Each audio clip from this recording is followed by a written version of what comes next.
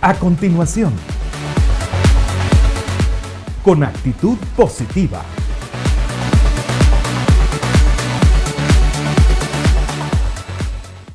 Hola, bendiciones a todos nuestros amigos y amigas, a todos los hermanos que nos están sintonizando, a todos los ministros, a todos aquellos que tienen un liderazgo.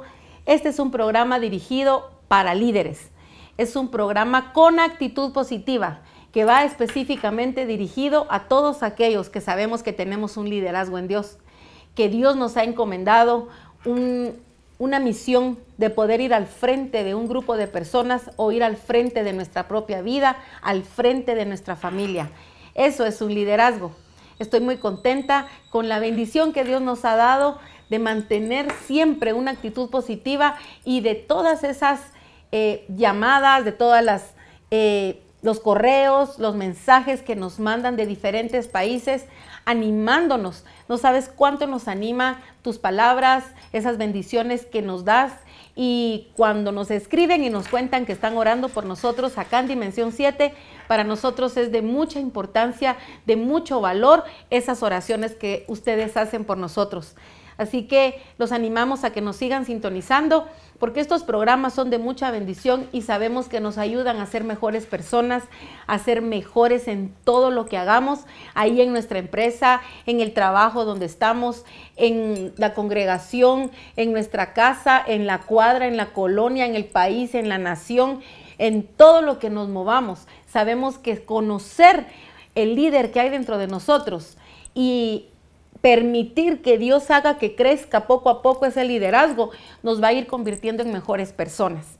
Así que saludos a todos los países, a todas aquellas personas que están siempre conectados, que están siempre sintonizándonos, que Dios les bendiga. Y si esos programas han sido de bendición, pues recomiéndalo a otros para que también se agreguen y nos sintonicen. El tema que estaremos platicando en esta hora es un tema muy importante de liderazgo y un tema que va a ser de edificación para tu vida. El tema es, el líder nace y se hace. Realmente nosotros sabemos que todos traemos una capacidad de liderazgo. Algunos no saben qué capacidad tienen porque nadie se las ha descubierto, nadie te ha dicho la capacidad con la que naciste, la capacidad que Dios te dio desde antes de nacer. Porque desde el momento que nacimos y que de aquellos millones de espermas que habían, tú y yo fuimos los que nacimos, desde ahí traemos una capacidad de ser líderes, una capacidad de conquista, una capacidad de ir al frente, una capacidad como de, de, empoderarnos de nuestra propia vida y de todo lo que nos va a tocar vivir aquí en la tierra. Prácticamente nosotros tenemos hoy que recordar que toda persona puede convertirse en un líder. Por eso el nombre nace y se hace. Porque yo considero que es muy importante que aunque hayamos nacido con un liderazgo de nacimiento, algo que nadie pueda quitar, una marca de Dios para liderar, como muchos en la Biblia. Mencionamos a Moisés, a Pablo, a David, también está mm, Jacob, José, Isaac, eh, los que estaban al frente de las tribus, de las doce tribus de Israel. También había, habían mujeres líderes, mujeres que nacieron líderes, pero fueron hechas en la mano de Dios. ¿Por qué? ¿Por qué un líder se tiene que hacer? Porque necesitamos de las pruebas, necesitamos de la soledad, necesitamos del sufrimiento, necesitamos de las lágrimas para que seamos formados como el líder, con la capacidad, con el, con el temple, con el carácter, con el temperamento ya formado en Dios, para que podamos ir y cumplir la misión que Dios nos delegó desde antes de nacer. Y no necesariamente tiene que ser en una iglesia. Nosotros tenemos que tener esa capacidad de liderazgo a donde quiera que vayamos. Tenemos que primeramente autoliderarnos a nosotros y saber que un líder tiene que aprender muchas cosas en la vida. Tenemos que tener, en primer lugar, fidelidad. Un líder aprende a ser fiel cuando lo traicionan o cuando también traiciona. Entonces, por eso un líder se hace. No es de que, bueno, ya nació líder, pongámoslo. No. Todos los que hemos tenido gente a cargo de nosotros, que Dios nos ha encomendado y nos ha dado ese don, esa capacidad, ese carisma, esa gracia, ese favor de Dios para liderar, sabemos que necesitamos ser fieles a una visión, ser fieles, abrazar una visión, abrazar al grupo de gente que Dios te dio, abrazar eh, ese llamado a liderar y esa fidelidad es muy importante para todo líder. Así que punto número uno, todo líder necesita aprender a hacerse fiel. Porque si él es fiel, si ella es fiel, la gente que está alrededor va a respirar ese mismo aroma de fidelidad y todo aquel que traía una inclinación a traicionar va a aprender fidelidad contigo. Necesitamos aprender también eh, los valores. Un líder tiene que poseer valores. Los valores que muchas veces ya no se inculcan en este tiempo. en este tiempo mucho liderazgo está lanzado en las empresas, en las congregaciones, en las naciones, en los países, en lugares de mucha honra, de mucha altura. En esos lugares están ahí puestos, pero no tienen valores, no poseen valores morales, no tienen la capacidad de ser humildes, no tienen la capacidad ni la educación. Muchos líderes ni siquiera saben saludar Muchos líderes entran y no entran con un saludo por delante, no tienen educación. El líder se hace, el líder se tiene que formar en medio de circunstancias duras y también en medio de circunstancias agradables. En medio de esos dos ambientes, un líder empieza a formarse y empieza a recibir crecimiento y recibe un patrón de vida de cómo debe hacer. Un líder tiene que poseer valores, también tiene que poseer una entrega. Tiene que saber que nació para algo y en el lugar donde te pusieron a ser líder, sea tu empresa, sea la colonia, ya vimos que no necesariamente solo es en una iglesia, pero lo que te hayan dado, ese es tu territorio, ese es tu como tu campo de lentejas y eso es lo que tú tienes que defender. Yo hoy te insto a que si eres un líder y tal vez dirás, sí, pero soy líder de dos personas, de una persona. No importa, te entregaron una persona y tienes que multiplicarte en esa persona. Tienes que vaciar todo lo que Dios te ha dado en una persona. Y a la vez esa persona se va a vaciar y se va a multiplicar en otros. Y cuando mires, todo lo que tú tenías se multiplicó en naciones, en generaciones. Muchos hoy en día podrán tener grandes eh, lugares donde ellos liderean, pero tú tal vez fuiste la semilla, porque a ti te sembró Dios. Entonces tú te sembraste en ellos. Piensa hoy por un momento a qué personas has liderado en el trayecto de tu vida, desde los pequeños, desde nuestros hijos, nosotros no hemos dado una mala semilla, porque hemos recibido la semilla del Padre, que es una semilla eterna. Y si nuestros hijos recibieron una buena semilla, aunque ahorita tal vez estemos viendo que se torcieron, que ya no están bien, pero la semilla que tenemos es la que va a dar fruto y la que nosotros colocamos en ellos es la que va a dar fruto. Y si tú colocaste una buena semilla y supiste ser líder en tus hijos, ellos van a dar doblemente en el tiempo de Dios, no en el nuestro. Entonces tenemos que saber que un líder necesita entrega. Entrega es que no importa que estés viendo que ya no hay gente alrededor, que ya no creen en ti, que no importa que ya no hay nadie a la par tuya, el liderazgo lo tienes tú. Y el liderazgo tiene que salir en esos momentos más difíciles. Por eso es que el líder es formado en la soledad.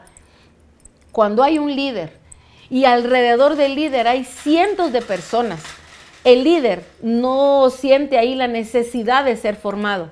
El líder cuando hay muchas personas alrededor, todo está bien, todo es agradable, todo aparentemente es un éxito y entonces no necesita más que sonreír y ser lindo.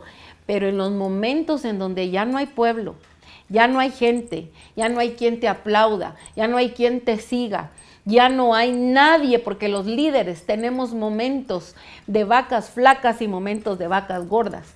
Entonces, El líder se forma más fuerte y más sólido en los momentos donde volteas a ver y ya no hay nadie aplaudiéndote, ya no hay nadie siguiéndote, ya no hay nadie creyendo en ti, porque los líderes también tenemos pies de barro. Y un líder puede resbalar, un líder tal vez por la velocidad que llevaba su liderazgo, se puede resbalar y puede haber cometido un error. Y muchos ya no lo miran, ya no lo siguen, ya no creen y voltean su mirada. Entonces ese líder no se tiene que apagar.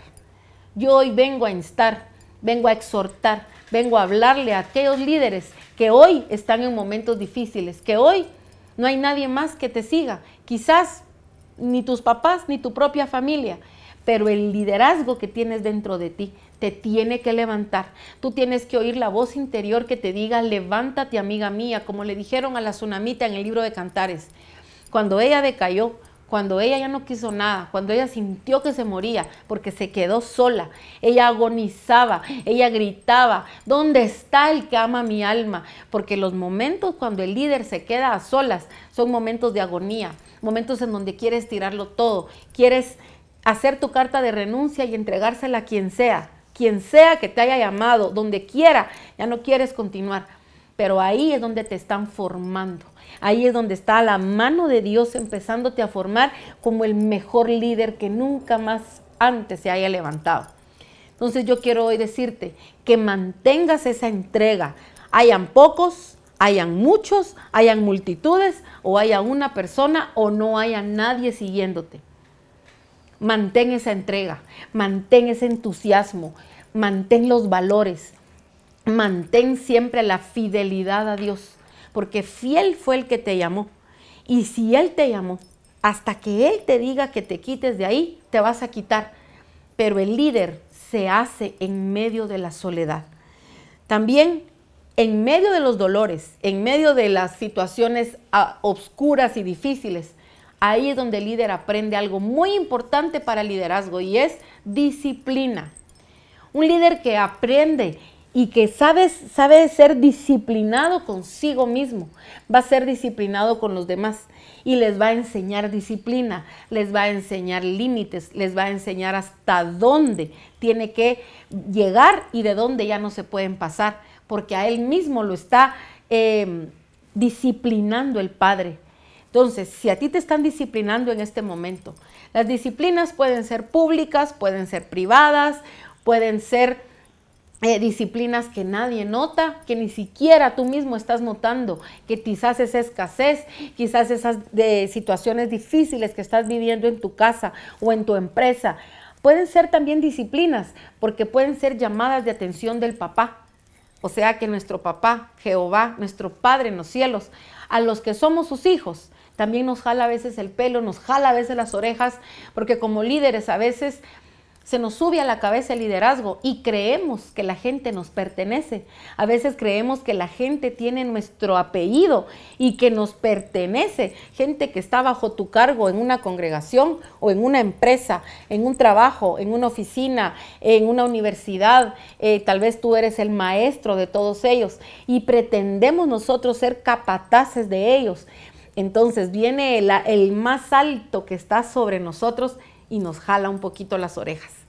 Por eso el líder tiene que tener disciplina para que nosotros también aprendamos a ponerle límites a los que están bajo nuestro cargo, porque un día ellos van a estar también a cargo de un grupo, ya que todo esto se reproduce y se multiplica según su género y su especie. Y si en tu género y en tu especie hay liderazgo, tú te vas a multiplicar, tarde o temprano te vas a multiplicar y tu ADN se va a multiplicar y se va a multiplicar. Y si fue tan bueno cuando sientas, van a haber un montón. Entonces, si no enseñaste disciplina, esa gente va a ir a padecer a otro lugar y les van a tener que disciplinar tal vez de una manera más dura y tal vez pública. Necesitamos aprender disciplina de Dios. Un líder que no tiene disciplina se la hacen en el camino y ya es a veces más duro, porque una persona que es mayor o que ya está en un lugar eh, público de honra, es más difícil saber que el papá de los cielos te está disciplinando. Y no importa que no sea en tu iglesia, te puede disciplinar siendo tú el gerente de tu empresa. Te puede disciplinar siendo tú el maestro en la universidad. Te puede disciplinar cuando empezamos también nosotros a tener unos errores grandes con los que estamos liderando. Así que ojo, un líder necesita aprender disciplina, necesita también ser disciplinado y ordenado. Un líder necesita llevar una agenda, revisarla, refrescarla, agregarle, cambiarla, borrarle cosas. Un líder tiene que ser flexible. Un líder tiene que saber que todo lo que agende, que todo lo que escriba puede estar sujetos a cambios, tiene que estar sujetos a cambios, porque el Espíritu Santo siempre está en movimiento y Él es el que se le ocurre en cambiar las cosas. No importa si es ahí en tu empresa.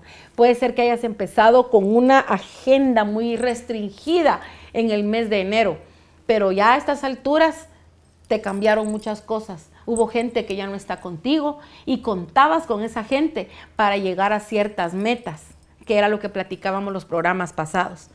También tiene que aprender un líder todo el tiempo, todo el tiempo. Un líder tiene que mantenerse potencializando sus dones.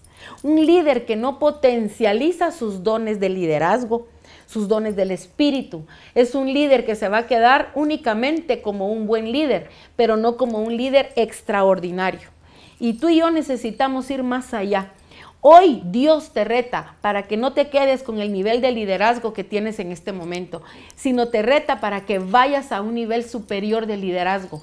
Ve a ser hoy un líder extraordinario. Agrégale la palabra extra y la palabra extra tiene cinco letras y el número cinco significa gracia. Que la gracia de Dios nos haga ser extraordinarios en el liderazgo que si estábamos liderando y lo hacíamos bien, hagámoslo mejor, hagámoslo superior, subamos de nivel. Y eso significa potencializar, aprender más. Ir a averiguar qué más puedo aprender de mi profesión. Si tú eres un líder porque estás en una profesión, cualquiera que sea tu profesión, cualquiera que sea lo que tú hagas, ve y potencialízate teniendo otras amistades que hablen el mismo idioma, que tú puedas aprenderles de ellos. Un líder tiene que saber que siempre van a haber personas mejores a quien tú puedas ir y aprenderles, pero siempre van a haber personas debajo de ti que quieran aprender de ti. Y eso nos va a dar un equilibrio siempre. Piensa hoy tú que eres líder, tú que me estás viendo en este momento. Piensa hoy a quién admiras tú y de quién tú hoy quieres aprender. Si tú no miras a nadie que sea mejor que tú, hay un problema de orgullo. Siempre va a haber una persona mejor que tú y mejor que yo. En lo que tú haces, lo que tú amas. Si lo que tú amas es predicar, siempre va a haber alguien mejor. A quien tú puedes ir y decirle, enséñame, quiero aprender. Yo sé que el Espíritu es el que hace todas las cosas y que a cada quien nos ha hecho diferentes. Pero hay siempre personas que nos van a enseñar. Aprende a potencializarte. Potencializar significa multiplicarnos, significa ser mejores, significa crecer. Si lo tuyo es una carrera, por ejemplo, tu liderazgo es una carrera de mm, estar a cargo como gerente. Entonces, ¿cómo me puedo potencializar este año? ¿Cómo puedo mejorar mi liderazgo? ¿Cómo puedo ser un líder extraordinario? Pues ir y aprender. Puedes ir y aprender mejores relaciones humanas, puedes ir y tomar un curso para mejorar tu carácter, para mejorar tu forma de liderar a la gente. Tienes que potencializarte, tienes que ir y ser superior este año, porque este año no nos vamos a quedar con el mismo liderazgo del año pasado. Va a haber nuevas personas que van a estar bajo tu liderazgo, van a haber personas que quizás ya no van a estar bajo tu liderazgo, pero tú tienes que ir y avanzar. Nosotros como líderes tenemos que ir más allá y saber que un buen líder no nos tiene que bastar, nos tiene que, eh, nos tiene que empujar siempre a ser mejores. Si tú eres un pastor, si tú eres una pastora que tienes a cargo gente, que no te baste con solo ser bueno, con solo eh, predicar los domingos y algún día entre semana. Eso no nos tiene que bastar. Tenemos que ir más allá y ver de qué manera se puede ayudar a más gente. Salir de las cuatro paredes de una iglesia, ir y revolucionar afuera, ser algo mejor. Por eso un líder nace y se hace. Un líder se tiene que formar de acuerdo a las necesidades que también hay externas. Un líder tiene que aprender a conocer su propia estructura. Tú como líder tienes que analizarte y estudiarte para poder crecer, para poder avanzar, para poder ser extraordinaria o extraordinario. Tienes que ver tu estructura y saber cuáles son mis debilidades, cuáles son mis fortalezas y escribirlas y ser verdadero, ser genuino y, apuntar, no, es que lo que me cuesta y lo que me enoja y lo que es mi debilidad es mi carácter. O mi fortaleza es que me gusta llamar a las personas y me gusta saber de eh, cómo están y mantenerles un seguimiento. Esa es una fortaleza que no todos los líderes tienen, pero debemos aprender. Entonces los líderes debemos aprender unos de otros, pero debemos ser eh, muy genuinos y muy verdaderos conociendo nuestra propia estructura. Verte tus debilidades, anotarlas. Verte tus fortalezas y anotarlas también. Ver cómo es nuestro carácter. Un líder tiene que saber reconocer cómo es su carácter y qué cosas en nuestro carácter les hace falta. Que no nos baste con tener un buen carácter. Necesitamos potencializarnos.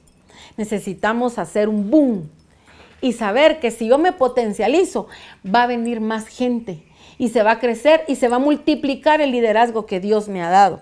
También necesitamos aprender a ser tenaces una tenacidad que nos va a hacer que no nos movamos de ese lugar y no nos movamos de ahí porque tenemos una meta, tenemos una visión, tenemos un sueño y la tenacidad va a hacer que ese sueño se cumpla. ¿Qué sueño tienes tú para este año? No te estoy hablando a cinco años, a diez años. ¿Qué sueño piensas tú que este año se puede realizar? ¿Con qué sueñas? ¿Qué le has dado a tu equipo para soñar?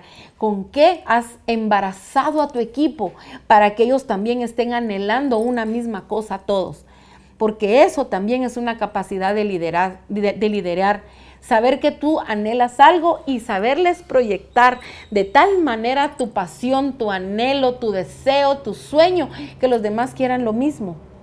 La mujer del libro de Cantares estaba tan desesperada cuando el amado se le perdió, que ella se fue por las calles, por las plazas, por las avenidas, por todos lados, ella andaba gritando cómo era su amado y que si alguien lo había visto porque se le había extraviado, tanto fue su liderazgo, tanta fue su influencia, que las demás doncellas de Jerusalén, dice la Biblia que la buscaron y le dijeron, pero ¿cómo es tu amado?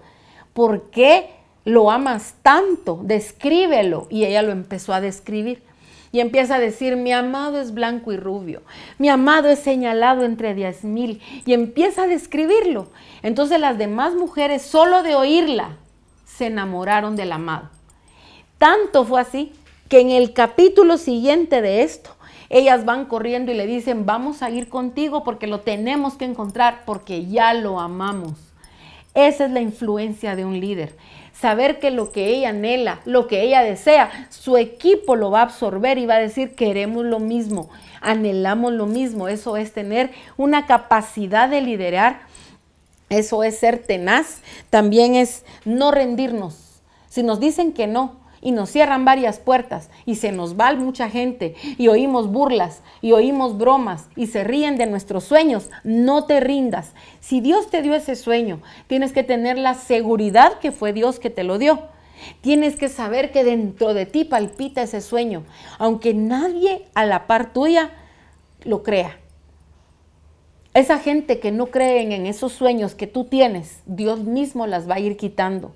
Él va a ir quitándote a la gente que no te está apoyando y los va a ir dejando de lejos, de lejos, de lejos. Porque se empiezan a burlar y se empiezan a burlar y no, no, no, ellos no conciben que tú puedas lograr eso. Y al dejar de creer, ellos se alejan. Entonces no busques y no, no pienses tener a toda esa gente a la fuerza, a la par tuya porque es gente que te va a restar y no te va a sumar en el sueño que tienes. No te rindas en, eso que tú esperas tener este año. No te rindas. También esos desafíos que la vida misma nos pone enfrente nos hacen lograr estabilidad emocional. Qué buenos son los desafíos que todo líder tiene, porque nos hace estabilizarnos emocionalmente. Y un líder aprende a hacerse estable emocionalmente cuando hay inestabilidad. Cuando miro las tormentas, cuando vemos que hay ciclones alrededor de nosotros, cuando hay terremotos a la par de nosotros y todos se lo llevan y cuando hay muchas cosas feas, difíciles y que todo se cae alrededor de nosotros, esa inestabilidad, aprovechala para hacerte estable. Hazte estable emocionalmente. También un buen líder se hace en medio de, de los momentos en donde hay caos. Aprovecha los momentos de caos. Aprovecha cuando hay cenizas y cuando hay escombros y ha habido un derrumbe de tu vida.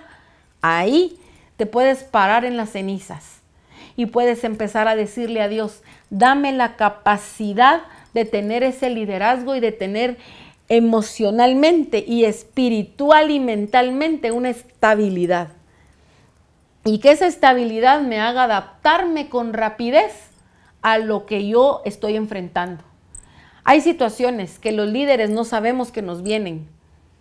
Y cuando las vemos las tenemos enfrente y no podemos más que o tirarnos a morir o adaptarnos rápidamente a eso que nos tocó vivir.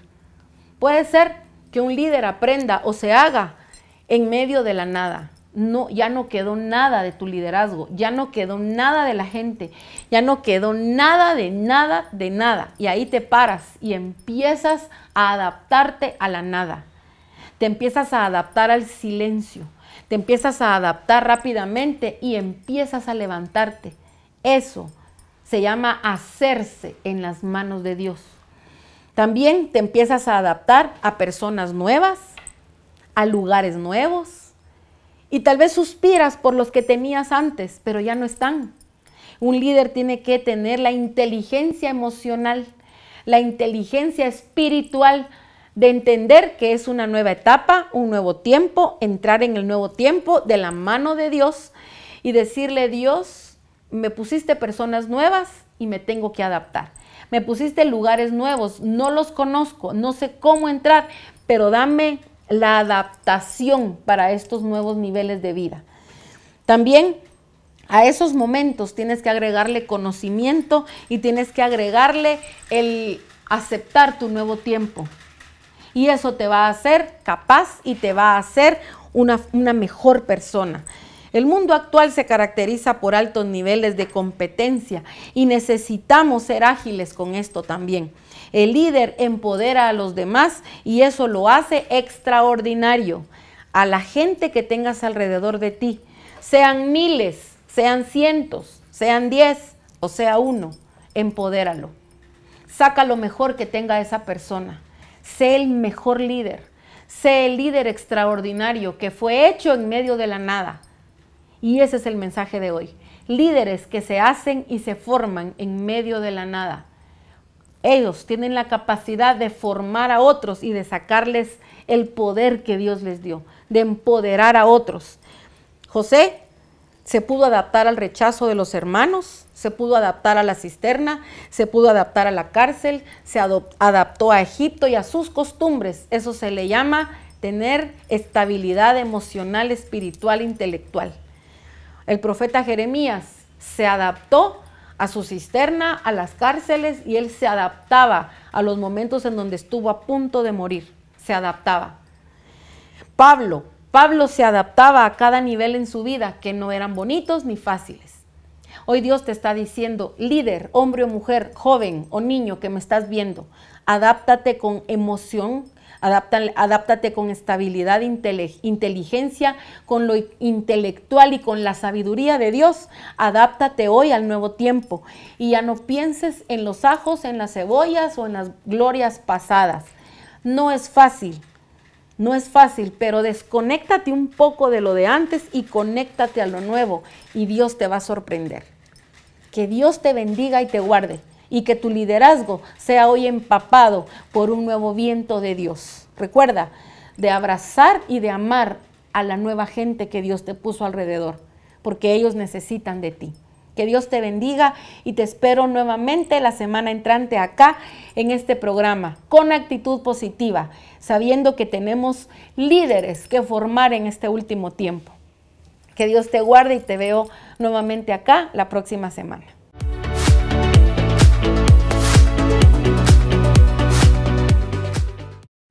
Estás viendo. Con actitud positiva